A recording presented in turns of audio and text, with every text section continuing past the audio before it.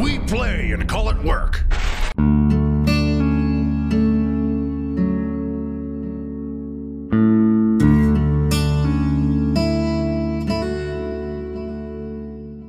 Why do I love the Inquisition?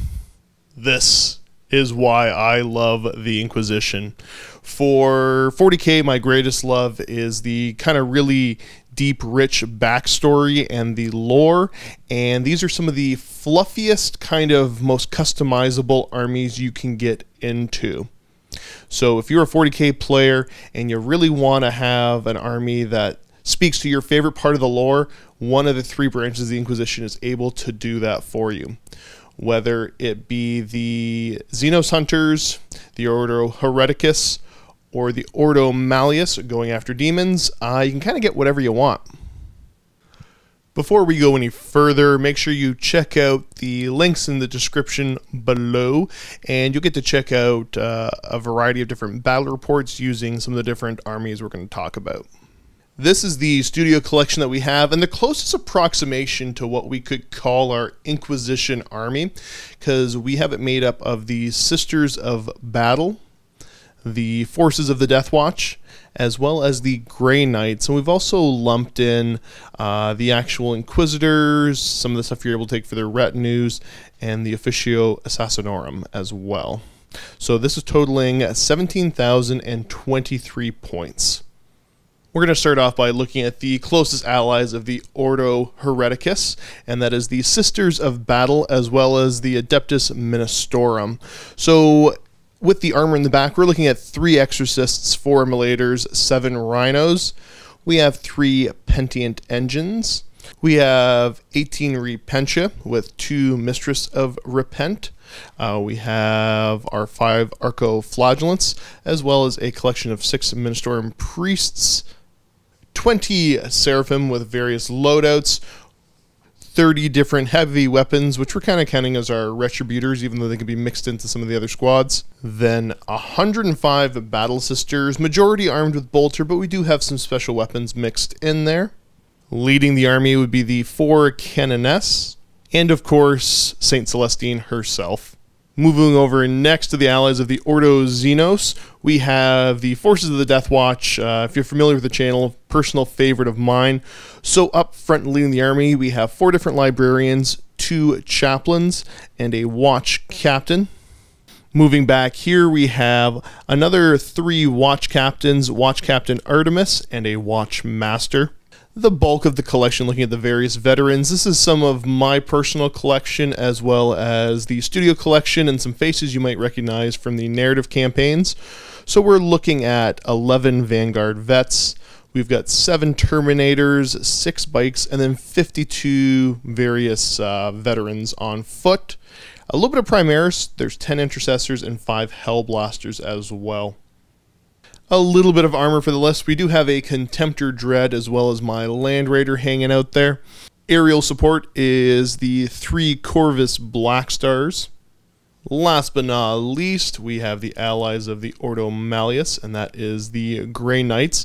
Making up the bulk of the army, we have 72 Strike Team, 11 Inceptors, 5 Paladins, as well as 15 Terminators. Leading the army, we have a couple special characters. We got Castellan Crowe, Voldus, as well as Draigo, pair of ancients, a librarian. Armored component starts off with three dreadnoughts as well as three dread knights.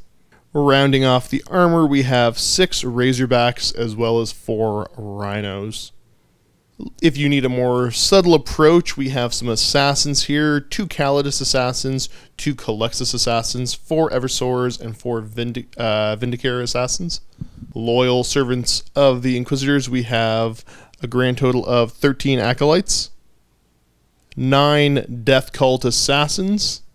If you're feeling like being a little bit of a heretic and justifying your use of chaos, we have a pair of demon hosts and then six various inquisitors. So we have three generic ones that would be great to represent Malleus, Hereticus, and Xenos inquisitors.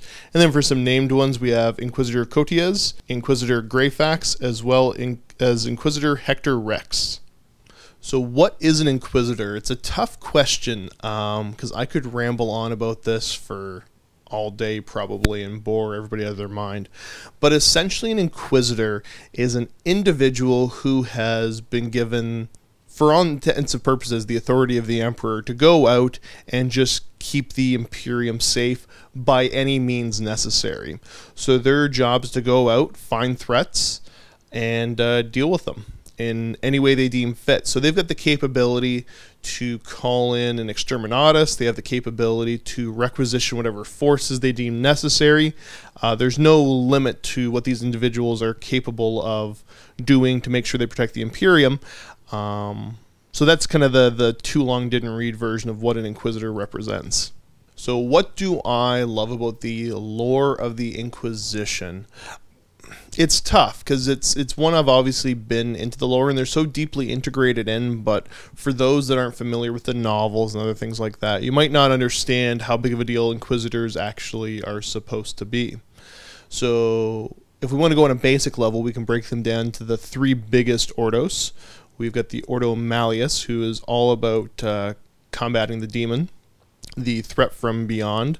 We've got the Ordo Hereticus, who is there to weed out heretics. So, you know, those once loyal to the Imperium that no longer are. And then you've got the Ordo Xenos, uh, which is there to go and combat the aliens. So they're all specialized. If you look in the, the lore, the three big threats to humanity and the Imperium, uh, they've got Inquisitors that specialize in dealing with each of that. Now, as cool as they are, and if you've read some of the novels, like if you've read uh, Eisenhorn, uh, is probably one of my favorite series, um, or anything else involving Inquisitors, you know that they have a huge impact, but not something that would translate well into 40k. So that's where we look at the closest allies that they have, and that's something you can better represent on the tabletop, whether it be a full army or just adding something, a little bit of flavor to one of the other Imperial armies. There's a lot of versatility you can do with that. So I think some of my favorite parts is that you can tell a little bit of a story with the way you build your army just by including either an Inquisitor or maybe an Inquisitor alongside. Um, uh, some Grey Knights, some Death Watchers, some Sisters, something like that. So what what makes every different allied force kind of unique? So I think the easiest one to look at would be the Death Watch. So you take Space Marines, you take your generic Space Marines, but instead of being one chapter, this is a combination of different veterans being sent from a bunch of different chapters that are all working together. So you've got one of the most flexible, kind of versatile forces that should be able to take on just about any threat out there. Now, Death Watch is obviously the one I'm most interested in, but one that's been around for a long time is the Grey Knights. So when I first got into playing, uh, Death Watch was you could take a squad. Grey Knights were just starting to have the Demon Hunters book, so you could play a more fully fleshed out army of them.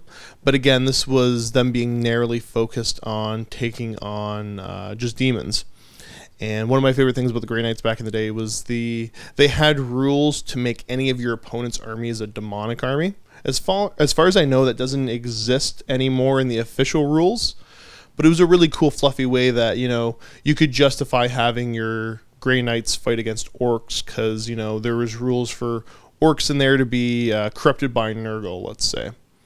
So that was kind of fun. And then Sisters of Battle, pretty iconic. Um, 40k, there's not a ton of female miniatures in the game as it exists right now.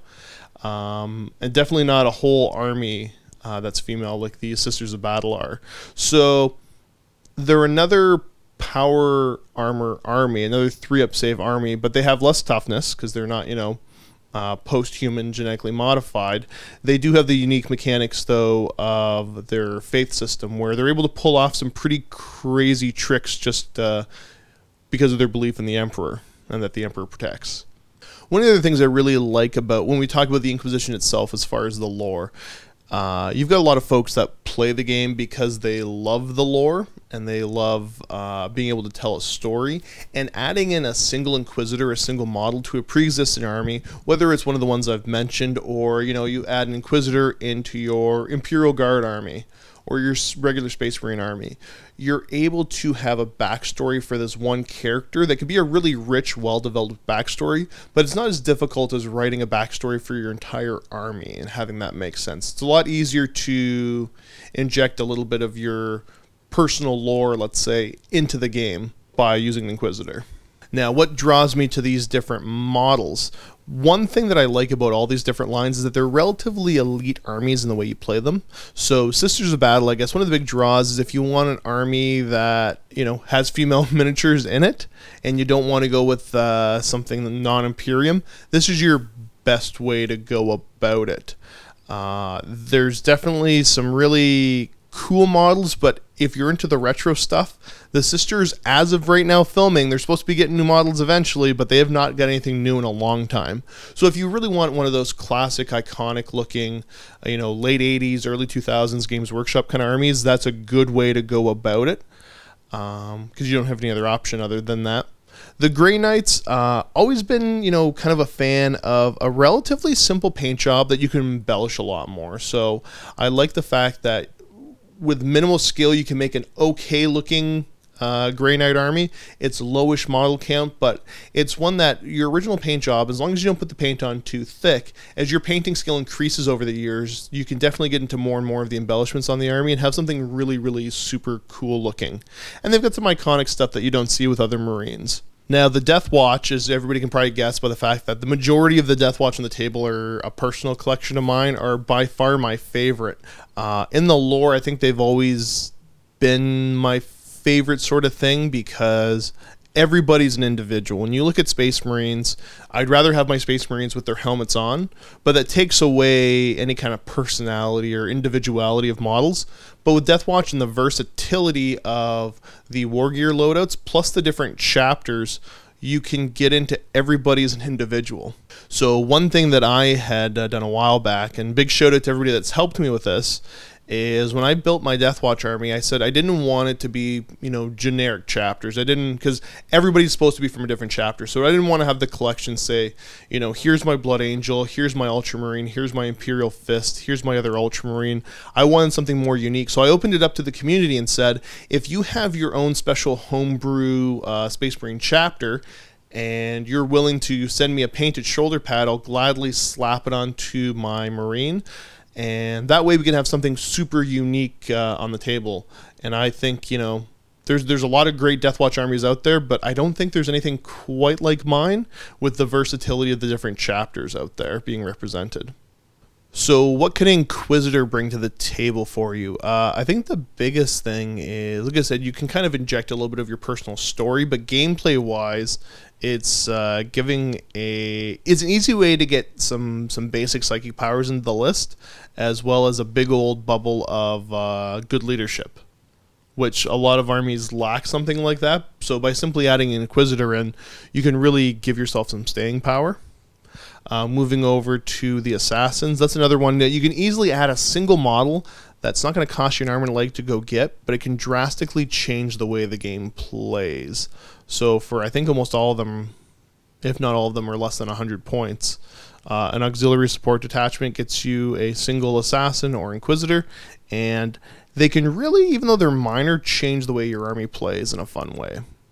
So, for all the different reasons I've talked about the fact that th- this is some of, for me, the most lore rich armies in the game, and the fact that you can choose to collect an entire army based around a certain Ordos and their allies or the fact that if you just want to scoop up an inquisitor, an assassin, maybe a couple Death Watch guys, uh, any Imperial collection can benefit from that. So the fact that you're able to take all these lore-rich elements and add them into almost any Imperial army with little to no effort is why I love the Inquisition. So that's why I love the Inquisition. Make sure you tell me in the comment section below why you folks love the Inquisition and the armies they're associated with. And don't forget to check out the links below for some games using these armies. If you're not a Vault member, you can check out the links below anyways. Uh, you have access to a seven day free trial where you get to watch the games plus everything else we have in the Vault because everything we do, we do in pairs. So that's more than twice as much content. Thanks for checking everything out. Leave some comments, leave some love. And as always, happy wargaming.